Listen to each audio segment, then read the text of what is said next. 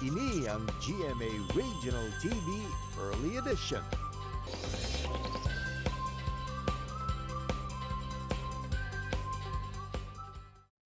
May December love affair kung tawgon. Pagigugmaan ay isang duwa ka mga tawo nga ginpatungan isang dako nga diferensya sa pangidaron. Hindi na gid man tumalagsahon ang sitwasyon apang madamo sa gihapon ang hindi sini makabaton. Sa duha nga imbulbado sa sini nga sahi isang relasyon, ano ba lang atraksyon? Ano ba lang nga sahi isang paminsaron ang kinahanglan sa pagsulod sa sini nga relasyon? Mga puso, mangin kaupod naton subong aga ang presidente sa Negros Occidental Guidance and Counseling Association Incorporated, kag the same time founding members sang CARE, Psychosocial Support and Consultancy Services sa Bacolod City para ipatag sa aton kag sa aton mga pinalangga nga matumalaw kung nga bala nagakatabo ang May December Love Affair. Bao, aga pa no? Let's all welcome mga kapuso our guest this morning, registered guidance counselor nga gikan sa Bacolod City, si Dr. Calvin Dave D. Ganob. Hi Doc Dave, good morning and welcome sa GMA Regional TV Early Edition. Kumusta Doc? Okay, great, Sir Adrian, and good morning. Thank you for the invitation. Doc, first question, ang ginatawag bala naton nga May-December love affair ba? Very controversial sa aton nga topiko sa mga aga. Very controversial gid kaayo Doc, especially sa setup diri sa pungsod Pilipinas. Si lover boy, Hubin, while ang babae naman baw dekada ang antad. In love and in psychology, is this normal, Doc?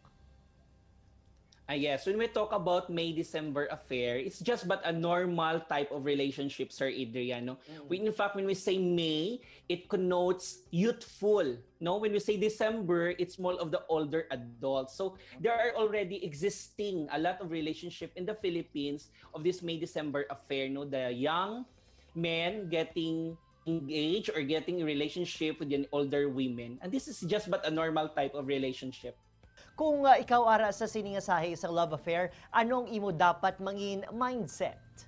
All right, so you should to be psychologically ready not to embrace this relationship because people will always make comment out of this. Remember, we Filipinos, we always comment. If we do good, they make comment. If you do bad, they will make comment. And if Yes. you're doing, they will always make comments. So what's important is that you are ready to engage in this relationship. You don't care what other people will say, but you also nurture that love, patience, and understanding, and of course, respect for each other. Ah, wala pili sa edad, ang importante makatibawa sa kapigaduhon. Most of the time, love isn't even part of the equation. Right, Doc? Yes, there are realities also ng mga mail order brides, no, Mm-hmm. because they wanted really to somehow increase their social economic status, no, because of the Mm. financial gain. But basically, aside from that, Tani, it's really anchored on on love, respect, Mm-hmm. and understanding. Mabalik ito, no, that sense of commitment. Secondary na lang money if ever that is the case. We Filipinos are very clannish Mm-hmm. and we have this culture nga dapat the same age, no? And dapat amo ni ang mga perspectives ng atong ginikanan because we always make sure nga parts ng atong decision ang atong mga parents, atong mga relatives, we honor them. But Yes. basically, at the end of the day, in the final analysis, it is you who will really decide for yourself, no? You just listen to them, consult them, but it is you who will decide at the end of the day.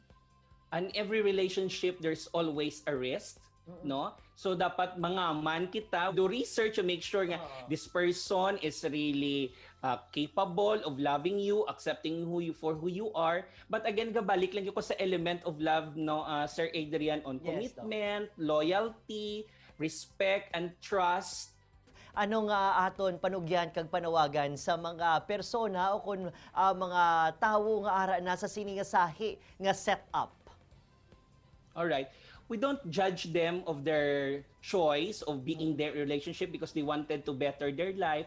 But what's important is that as the process, they are not also taking opportunity, but they should always go back to the premise. Why did you engage in this relationship? So go back agad to ya sang imo mga rason nga ah, nag-intra ka sa amo nga relationship. What the research is, is telling us, may mga advantage kag disadvantage. Kung galayo ang gap sa isa kag isa, may tendency nga ga break man ang relationship but it Mm. always depend on the person again on how they will handle such risks such mga stereotyping that you have heard from Yes. other people Gusto kong mahibaluan, ano naman ang mga nagkalain ni advantages kung ara ka sa siningasahe isang paghigugmaanay?